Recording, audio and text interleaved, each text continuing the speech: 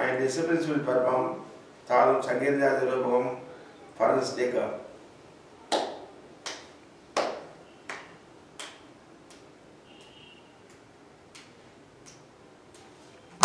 Thank